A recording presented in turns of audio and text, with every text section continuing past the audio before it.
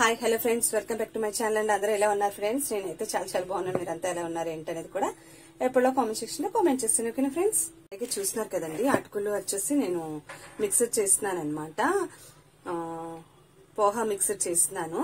So కావాల్సిన ingredients అన్ని కూడా ఒకసారి షేర్ చేసేస్తానండి. అటుకులు తీసుకుంటున్నాను నేను. అలాగే పల్లీలండి అలాగే పుట్నాల పప్పు. ఇవన్నీ వేసుకుంటేనే బాగుంటుంది.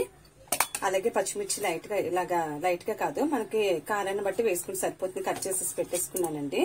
అలాగే కాజు అండి. అలాగే కిస్మిస్ తీసుకుంటున్నాను. అలాగే చూస్తున్నారు కదండి ధనియాలు కొద్దిగా కచ్చబచ్చ చేసేసుకున్నాను ఆల్రెడీ మనం ప్రాసెస్లోకి వెళ్ళిపోదామండి. అలాగే స్టవ్ ఆన్ చేసేసుకుని కడాయి పెట్టేసుకున్నానండి. ఫస్ట్ ఒక్కొక్కటిగా మనం ఫ్రై చేసుకుందాము. ఇందులో ఆయిల్ లేకుండా జస్ట్ మనము అటుకులు ఫ్రై చేసుకుందామండి. ఇలా ఫ్రై చేసుకోవడం వల్ల క్రి- క్రిస్పీగా ఉంటుంది అనమాట మిక్సర్ అనేది కూడా మనకి ఎన్ని మంత్స్ అయినా డేస్ అయినా కూడా పాడవకుండా అలాగే క్రిస్పీగానే ఉండిపోతుంది అనమాట అటుకులు చూస్తున్నారు కదా ఆల్రెడీ గట్టిగా ఉన్నాయి. సో మళ్ళీ ఒకసారి మనం లైట్గా ఫ్రై చేసుకుంటే ఇంకా బాగుంటుంది అనమాట చూస్తున్నారు కదండి జస్ట్ లైట్గా అలా ఫ్రై చేసుకుంటే సరిపోతుంది అయిపోయిందండి. బౌల్లో వేసేసుకుందాం. మనం అటుకులను బట్టి తీసుకుంటే సరిపోతుందండి అన్ని కూడా కొద్ది కొద్దిగా తీసుకుంటే సరిపోతుంది. పుట్నాల పప్పు కూడా లైట్గా ఫ్రై చేసేసుకుందాం ఆయిల్ లేకుండా.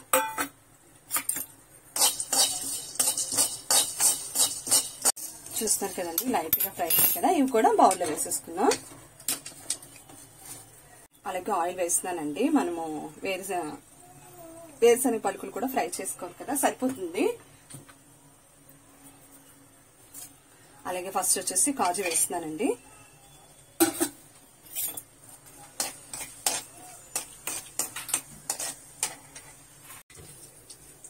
అలాగే కిస్మిస్ వేస్తున్నానండి. ఇందులోనే వేసేసుకుందాం. ఇది ఫ్రై చేయని అవసరం లేదనమాట డైరెక్ట్ వేసుకుంటే సరిపోతుంది.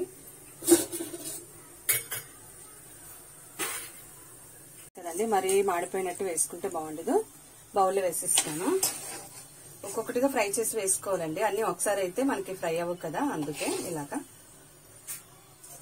పన్నీర్ కూడా వేసేస్తున్నానండి.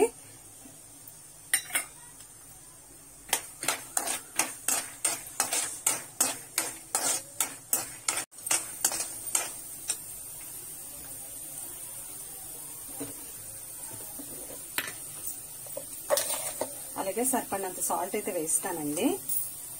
సరిపోతుంది మరి ఎక్కువైతే కూడా తినలేం కదా. అలాగే పచ్చిమిర్చి కూడా వేసేస్తున్నానండి.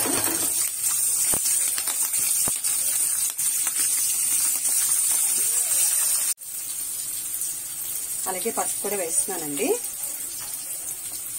అలాగే మనము ధనియాలు కూడా కచ్చపచ్చ చేస్తున్నాం కదా అవి కూడా వేసేస్తున్నాను అనమాట ఇవన్నీ వేసుకోవడం వల్ల చాలా బాగుంటుంది మిక్సర్ అనేది కూడా. అటుకుల మిక్సర్ అనేది కూడా స్టవ్ అనేది ఆపేద్దామండి.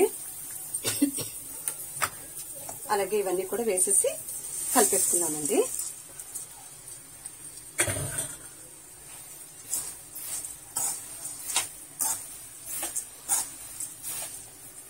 చూస్తున్నారు కదా ఫ్రెండ్స్ చాలా టేస్టీగా కుదిరిందండి. సాల్ట్ కూడా మేము లైట్గా వేయడం వల్ల చక్కగా బాగుందనమాట అటుకులు ఎలాగో మనకి స్వీట్ వస్తుంది కదా. సో మనం వేసుకునే ఇంగ్రీడియంట్స్ కూడా చాలా తీగా అనిపిస్తాయి కాబట్టి సాల్ట్ అనేది తక్కువ వేసుకొని చేసుకుంటే సరిపోతుంది. చూస్తున్నారు కదా చాలా కలర్ఫుల్గా ఉందండి. అలాగే చాలా టేస్టీగా కుదిరింది అనమాట పోహా మిక్స్డ్ అనే మిక్స్డ్ అనేది కూడా అయిందండి. డిష్ అవుట్ చేసేసుకుందాం. చూస్తున్నారు కదండి ఫాస్ట్గా ఈజీగా చిన్నపిల్లలైనా కూడా ఈజీగా చేసేసుకోవచ్చండి. పోహా మిక్సర్ అనేది కూడా అటుకుల మిక్సర్ అనేది కూడా.